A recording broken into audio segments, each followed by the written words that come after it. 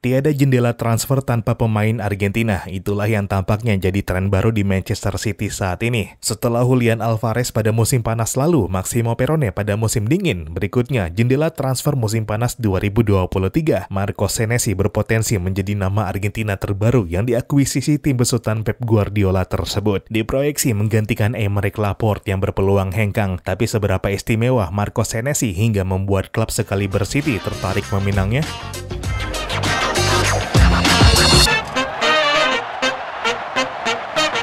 Halo dan selamat datang kembali di Papa Bola. Ya, meski berada di jalur yang sangat baik untuk memenangkan treble musim ini, pelatih Pep Guardiola mulai mewacanakan revolusi dalam timnya musim depan, termasuk dengan membidik pemain belakang baru sebagai langkah antisipasi jika Aymeric Laporte hengkang pada akhir musim nanti. Barcelona adalah klub yang dirumorkan tertarik mendatangkan bek berkebangsaan Spanyol tersebut. Aymeric Laporte musim ini bukan lagi pilihan utama Pep Guardiola di lini belakang Man City. Di Premier League, Laporte hanya memainkan 26 persen dari menit bermain City. Demikian juga di Liga Champions yang hanya 27%. persen. Kontribusi terbanyak Laporte musim ini untuk City berada di ajang Piala FA di mana dia memainkan 70% persen dari menit bermain City. Sedangkan mereka yang jadi pilihan utama Pep sepanjang musim ini di lini belakang City adalah Manuel Akanji yang baru bergabung musim ini serta Ruben Dias yang menemukan kembali permainan terbaiknya musim ini. Laporte yang kehilangan menit bermain kemungkinan mempertimbangkan untuk hengkang dan City kemungkinan gak akan sungkan melepasnya seiring kesulitannya sang pemain memenuhi ekspektasi di tim Super City, terutama ketika bermain di laga-laga penting. Pep pun telah bersiap dengan babak baru tanpa lapor dengan membidik sejumlah nama sebagai potensi pengganti. Back berbakat 21 tahun asal Kroasia, Josko Gvardiol dirumorkan menjadi favorit Pep di daftar belanja musim depan. Namun satu opsi yang juga sangat kuat dan cukup menyita perhatian adalah back asal Argentina, Marcos Senesi, yang pada musim pertamanya di Premier League bersinar bersama Bournemouth.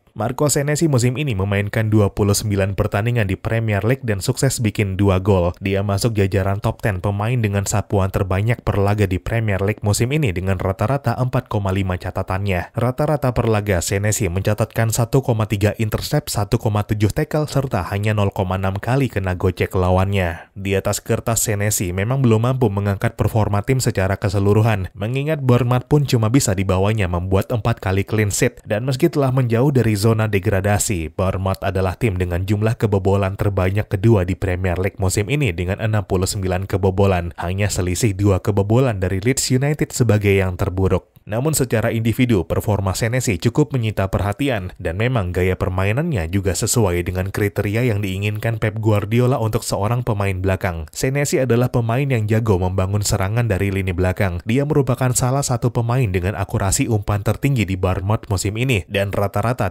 3,4 umpan panjang sukses per laganya adalah yang tertinggi di klubnya. Secara umum, Senesi adalah back dengan kemampuan mengumpan yang bahkan bisa membelah pertahanan lawan dari sepertiga lapangannya sendiri. Permainan agresifnya juga sejauh ini cocok dengan intensitas di Premier League. Dia juga piawai dalam mengirim umpan-umpan lambung dari lini pertahanan kepada rekan-rekannya di sepertiga akhir lapangan. Posisi idealnya adalah back tengah kiri dalam formasi 4 back atau sebagai back tengah dalam formasi 3 back. Kakinya yang kidal menjadi keunggulannya di posisi tersebut dan mampu mengoptimalkan umpan-umpan dari kakinya. Sedangkan dalam duel udara, Senesi juga memiliki kemampuan sundulan yang baik, termasuk satu dari dua golnya musim ini lahir dari bola tandukan. Namun pertanyaan besarnya, akankah kemampuan dan gaya permainan Senesi tersebut cocok bila dibawa ke sistem Pep Guardiola di Manchester City? Secara umum, sistem Pep di City mengharuskan pemain belakangnya, termasuk back tengah, untuk bisa bermain dengan nyaman dengan bola, bermain dari lini belakang hingga maju membantu lini tengah ketika diperlukan, dan bertahan dengan garis pertahanan tinggi. Senesi dengan kemampuan passing dan agresinya sekilas cocok dengan gaya permainan Pep di City. Senesi juga telah memiliki pengalaman bermain di berbagai formasi dan ragam karakter pemain tapi tentu Senesi masih akan memerlukan adaptasi jika akhirnya bergabung dengan Pep di Man City. Dan Senesi pun tampak masih harus meningkatkan kemampuannya, terutama dalam hal positioning, awareness, dan pengambilan keputusan. Meskipun pengalamannya semusim ini di Premier League tetap bakal jadi nilai tambah bagi Senesi untuk City, terutama dibanding Guardiol yang belum teruji di liga paling kompetitif tersebut. Nilai pasarnya yang 20